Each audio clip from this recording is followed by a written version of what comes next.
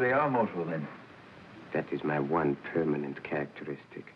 But I thought Moto was... In my back of my mind, I said I would like to be in one of those films.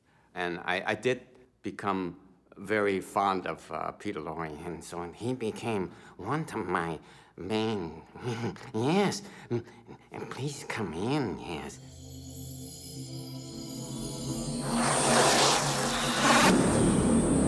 And I did become Peter Lorre in a sense in many of my roles. Miao Yin. I need you, Miao Yin.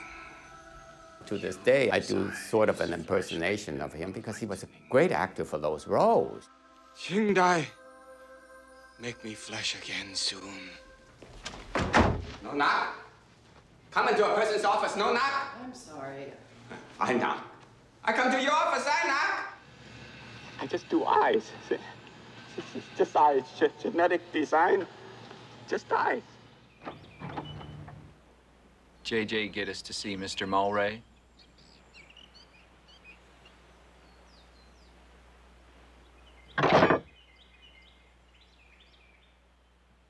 I get roles, I get a lot of roles, but let's say out of the roles I get, uh, maybe 35% of those are old masters of one sort or another. So if it weren't for that, I would be, you know, out of 35% uh, of my payroll.